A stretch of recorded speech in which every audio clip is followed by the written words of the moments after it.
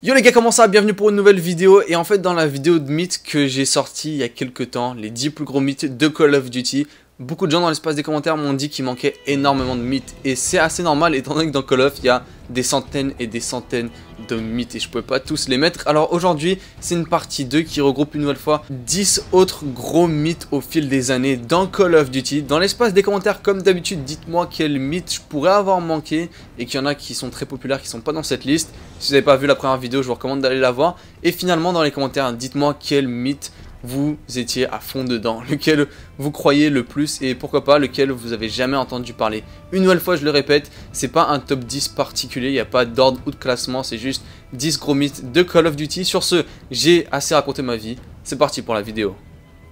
Après la sortie de Black Ops 2 par Treyarch, on se demandait tous quel jeu Infinity Ward allait sortir en 2013. Modern Warfare 4 semble être une possibilité, mais compliquée. Si vous avez vu la fin de Modern Warfare 3, vous savez très bien pourquoi. Mais pendant plusieurs longs mois, on avait eu des informations et des rumeurs, et la communauté pensait vraiment que le prochain jeu d'Infinity Ward, ça allait être Modern Warfare 4. Et beaucoup de gens croyaient aux faux posters, faux trailers et fausses informations qu'on voyait en ligne. Ça semblait vraiment crédible et Modern Warfare 4 gagnait en popularité avant même son annonce. Au final, c'était Call of Duty Ghost qu'on avait reçu, mais ce qui est intéressant à noter, c'est que effectivement, Ghost devait être Modern Warfare 4 initialement. Ça a été révélé par un développeur d'Infinity Ward qui nous dit que en fait, initialement c'était Modern Warfare 4 qu'ils avaient développé mais qu'ils ont abandonné et ça devait se continuer dans une version post-apocalyptique de Modern Warfare 3 avec la nuke qui avait explosé et ainsi de suite. Je sais pas comment ils auraient fait vu que le seul personnage qui reste vraiment à la fin de Modern Warfare 3 c'est Price, mais qui sait exactement. Et récemment quelqu'un a eu accès à une version pré-alpha de Call of Duty Ghost, c'est-à-dire une version un an avant la sortie officielle du jeu.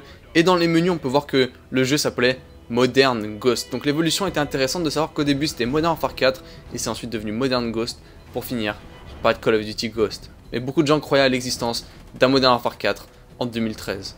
Soyons honnêtes, il n'y a rien de plus classique que Kino. Et quand cette map est sortie sur Black Ops 1 en 2010, tout le monde cherchait les différents eggs et secrets de la map. Et parmi les nombreux eggs, théories, légendes et mythes populaires, le plus populaire à mon avis c'était celui de l'échelle de Kino d'Ertoten sur laquelle vous pouviez accéder au toit de la map. Et pour ceux qui savent pas, en gros, quand vous allumez le courant en fait dans Kino, l'étrange chose c'est que le théâtre s'effondre en fait et le plafond commence à tomber en miettes. Et à partir de ce moment-là, les gens ont commencé à faire différentes théories sur le fait que vous pouviez accéder au toit et que possiblement il y ait un boss zombie sur le toit que vous devez battre pour terminer la map. Les gens avaient cette théorie, parmi d'autres, il y en avait bien évidemment d'autres, mais le fait que le toit s'effondrait sur Kino, sur Black Ops 1, c'était ça l'indice, il y avait ces échelles bizarres, il y en avait trois qui étaient placées sur la scène, les gens pensaient qu'il y avait un moyen de les faire descendre et de les accéder pour monter encore plus haut. Bien évidemment, vous doutez que c'est impossible,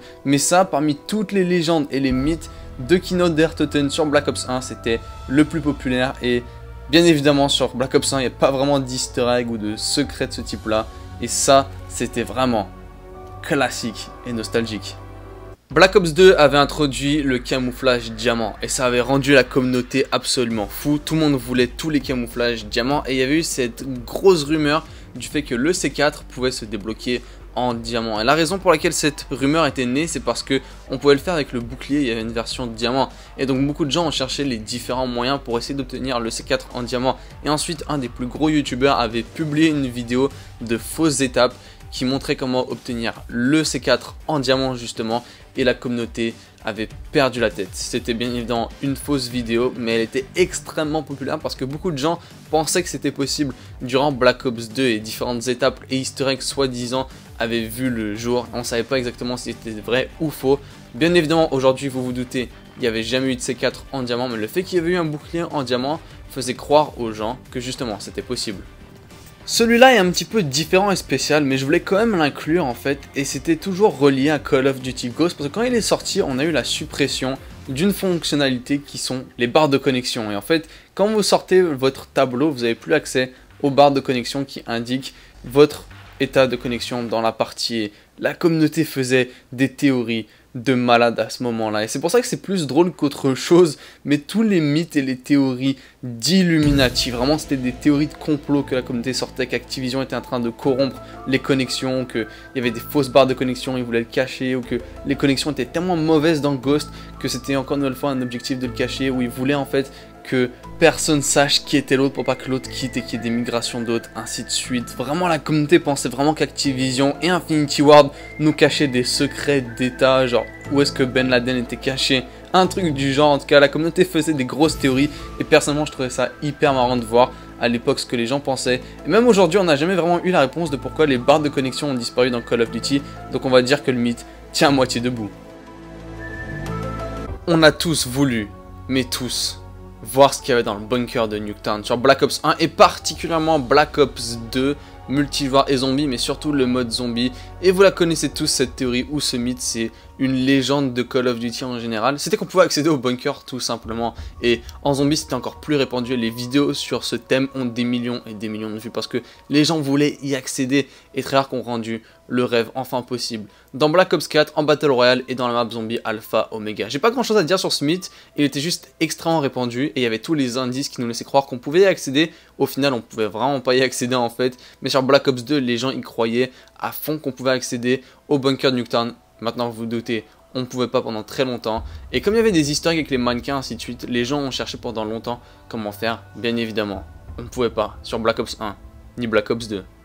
On ne peut pas oublier PhD Flopper dans Black Ops 2 et la map Zombie Die Rise où que PhD était juste caché dans un couloir inaccessible de la map et toute la communauté s'est imaginé différentes raisons et moyens d'y accéder. C'était un gros mythe en fait de la communauté alors que Treyarch faisait juste ça pour troll les gens étant donné que la map était énorme et qu'il y avait des dégâts de chute et beaucoup de chances de mourir. Ils ont juste placé PhD à un endroit totalement inaccessible mais les gens pendant longtemps ont fait différents tests et différentes théories pour accéder à cet atout qui bien évidemment, vous le savez et vous le devinez, était totalement inaccessible.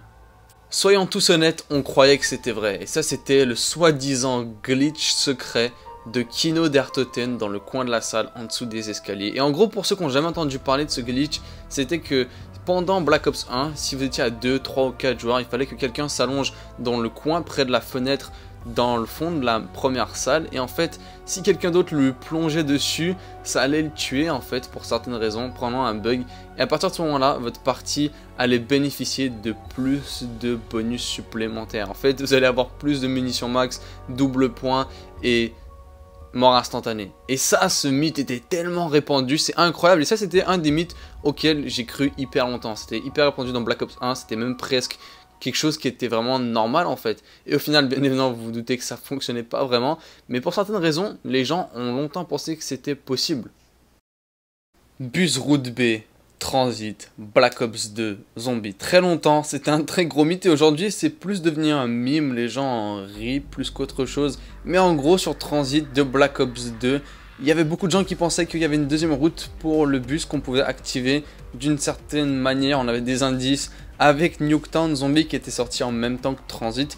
Et Nuketown Zombie en fait avait le bruit du bus de Transit qui passait. Justement, les gens pensaient qu'il allait avoir une deuxième route secrète qui passait vers Nuketown. En plus de ça, sur certains panneaux de transit dans la map, on a justement des indications d'une deuxième route qui existe, une route B justement, et même dans le trailer de transit à son reveal, sur la carte qui était montrée, il y avait également une sorte de route B. Les gens croyaient vraiment que dans Transit, il y avait une deuxième route pour ce putain de bus, bien évidemment. Il n'y en avait pas, mais ça devait être un des plus gros mythes de Black Ops 2 Zombie. Et aujourd'hui, les gens, avec le custom zombie de Black Ops 3, s'amusent à faire des routes B et à faire plusieurs maps intéressantes avec justement la route B, la théorie, le bus de transit et ainsi de suite. Personnellement, c'est probablement mon mythe préféré de l'histoire de Call of Duty. Il était juste trop sympa et trop drôle. Modern Warfare 3 il n'y a rien de plus classique que la Moab, une variante de la nuke de Modern Warfare 2. Elle était assez différente, entre autres parce que c'était déjà un killstreak secret que vous n'avez pas à sélectionner dans vos killstreaks, contrairement à Modern Warfare 2, et ça se débloquait un petit peu de manière différente, et ça ne finissait pas la partie, et à cause de ça, les gens cherchaient plein d'autres effets secrets de la Moab. Et un qui a apparu et qui est longtemps resté un mythe, c'était que c'était possible d'arrêter une Moab dans Modern Warfare 3, il y avait la même logique qu'en fait, avec un javelin, vous pouviez arrêter tous les killstreaks du jeu presque.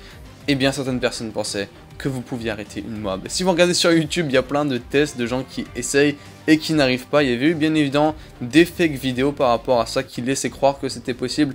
Mais sur internet, vous regardez sur les blogs et les informations de Call of Duty, les gens pensent littéralement que dans Modern Warfare 3, vous pouviez arrêter une mob. Et bien évidemment, vous doutez que c'est impossible. Mais l'idée c'était que dès que la mob était appelée, vous ayez un javelin et que vous tiriez dessus pour l'arrêter. Ça n'a jamais été possible, personne ne l'a jamais réussi et bien évidemment c'est pas quelque chose qui fonctionne mais pendant très longtemps les gens ont cru pour certaines raisons que c'était possible d'arrêter une mob dans Modern Warfare 3. Et si vous étiez là pendant Black Ops 3 Zombie, vous vous rappelez de celui-là, c'est clair et net. En fait, c'était le servant d'Apoticon de la première map zombie, Shadows of Evil, la map sur un disque. Et c'est probablement la meilleure arme zombie qu'on a jamais eu. Il n'y a pas de faiblesse par rapport à cette arme. Et en fait, les gens pensaient qu'il y avait un moyen de l'améliorer sur la map.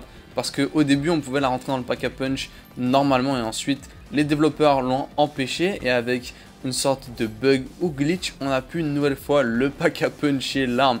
Et puis ensuite, on a trouvé dans les codes du jeu qu'il y avait des étapes pour a puncher cette arme. Et pendant facilement 3 ou 4 mois, les plus gros youtubeurs zombies ont streamé sur la map pour chercher comment améliorer cette arme. Et c'est ensuite qu'a révélé le boss du zombie Jason Blundell que c'était impossible d'améliorer cette arme sur Shadows of Evil alors que les gens cherchaient comme des malades pendant hyper longtemps. Black Ops 3 était probablement l'apogée du zombie, particulièrement dans la recherche d'historique et les gens cherchaient des heures et des heures par jour pour améliorer cette arme. Et c'était vraiment le rêve et c'était vraiment bizarre parce qu'il y avait une version améliorée de l'arme en fait. C'était pas vraiment quelque chose qui buguait ou qui glitchait, mais il y avait bien une version améliorée de l'arme qui était disponible. Mais au final, les développeurs ont dit que c'était impossible dans la map. Et ça, c'était vraiment un troll et un mythe en même temps. Merci beaucoup d'avoir regardé cette vidéo les gars, c'était les 10 plus gros mythes dans Call of Duty partie 2. Bien évidemment j'essaie de varier le plus en fait les Call of Duty et même les modes où est-ce que je trouve ces mythes parce que le mode zombie a énormément de mythes en fait. Et on pourrait carrément faire un 100 plus gros mythes en zombie. Mais voilà j'essaie de varier sur les différents types de Call of Duty et les différents mythes. Donnez-moi votre avis dans l'espace des commentaires comme d'habitude. Merci beaucoup d'avoir regardé les gars. Je vous dis ciao on se retrouve vite pour d'autres vidéos. Peace